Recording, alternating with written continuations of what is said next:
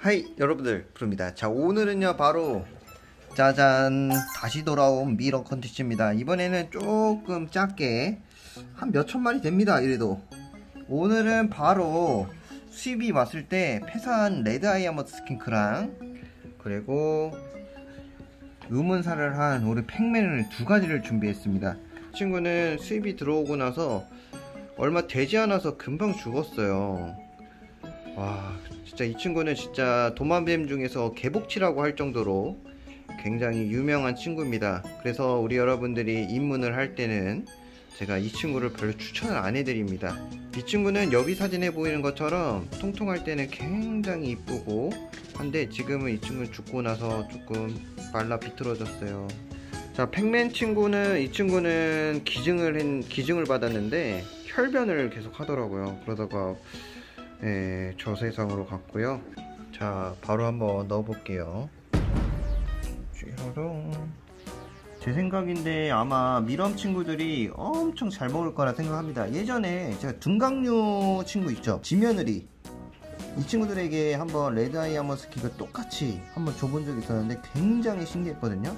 아마 못 보신 분들이 있을 건데 아마 이번에 보시면은 red eye armor skink가 이제 뼈대가 어떻게 생긴지 보시면 아마 굉장히 신기할 겁니다. 그리고 이 생맹개구리 또 한 마리 바로 넣어보도록 하겠습니다.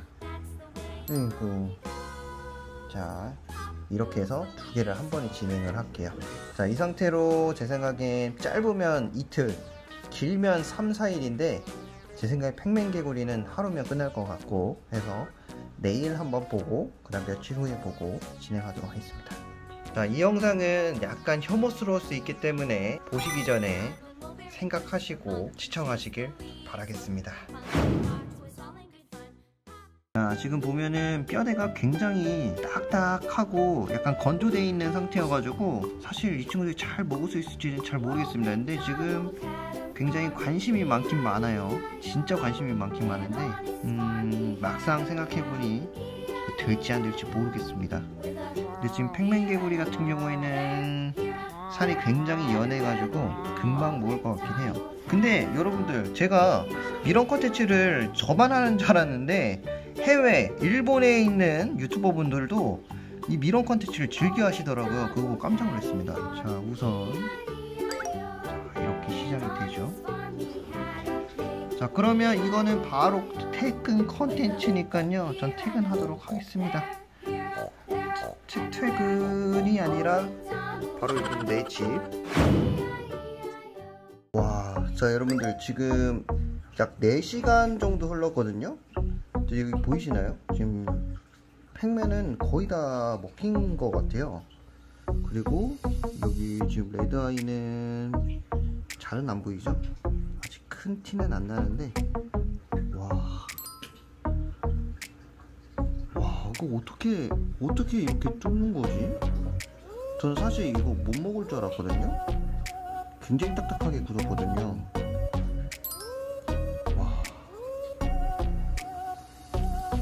엄청 가벼워리 와 이거 뭐야. 두둥. 자이 정도인 것 같고 자 내일 아침에 한 12시간 정도 후에 보도록 하겠습니다. 자 여러분들 이제 3일째입니다. 보통 2일째에서도 끝날 수 있었는데 제가 한번 열어서 보여드릴게요. 짜잔. 오엉. 오엉 오 뭐야 여기 뭐 보인다 하나. 자 여기 보면은 오오 오, 뭐야. 자 이거는 레드아이 같은데요. 자 레드아이는 조금 이따 꺼내고 여기에 와. 이거 팩맨이다. 예. 와 팩맨 골격입니다. 머리 쪽인 것 같고요 와 여기 앞에 쪽이 콧구멍이고 여기 눈 그리고 양옆에 귀 쪽. 울음소리 내는 그쪽인 것 같은데. 와 이빨이 우선은 굉장히 날카롭게 나 있네요. 이렇게 잔이빨이 있어가지고 제가 손으로 물렸을 때 또는 다른 생물들을 먹이를 사냥할 때 놓지 못하는 못 도망가는 이유가 이 이빨이 있었네요. 잔이빨이 굉장히 많네요.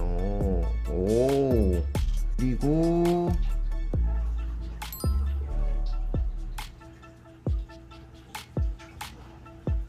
이거는 레드아이 발가락인데. 아 이거 뭐야? 아 이거 아래턱이구나. 자 이런 식으로 돼서 여기 위에 올라가는 구조인 것 같습니다.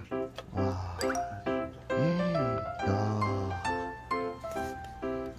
와 지금 미럼이 싹 진짜 싹싹 먹었어요.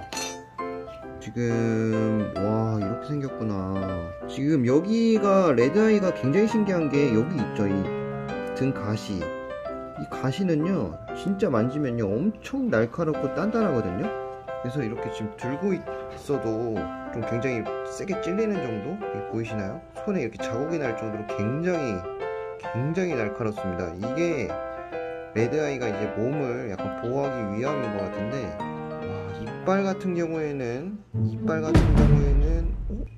날카롭지 않네요. 굉장히 이빨이 직사각형으로 뭉툭뭉툭합니다. 이런 이빨은 지금 처음 보는 것 같아요 이빨이 되게 신기하죠. 보통은 파충류, 양서류 이런 친구들 다 이렇게 안 생기고 굉장히 날카롭게 생겼거든요. 사람 이빨 마냥 굉장히 고루고루 고루고루게 나 있는 치아를 볼 수가 있습니다. 개인적으로 굉장히 궁금했던 팩맨이랑 이 레드아이 미럼이 싹싹싹싹 긁어서 먹었는데요. 머리 같은 경우에 무튼 뭐 이런 식으로 생겼는데 굉장히 레드아이 가시랑 이빨이 인상적인 것 같고 개구리 대부분이 그런데 이빨이 이렇게 날카로웠다라는 거 여러분들 아시면 좋을 것 같습니다. 자 해서 오늘 이렇게 미럼 컨텐츠 끝났고요 미럼 컨텐츠는 항상 그렇죠. 시작과 끝이 약간 허무해요. 와 여기 와 이거 이- 오. 뭐야 이거. 팩맨이 조금 약간 신기하다. 이거 팩맨 거거든요? 팩맨이 약간 확실히 뼈대가 있네. 크, 뼈 조각. 이거를 다 조립은 할 수 없겠지만 굉장히 신기한 것 같습니다 무튼 이렇게 해가지고 red eye랑 팩맨 먹여봤고요. 다음에도 또 밀웜 컨텐츠 조금 신기할 것 같은 거 궁금한 거 있으면 진행해 보도록 하겠습니다. 자 다음에 또 뵐게요. 세생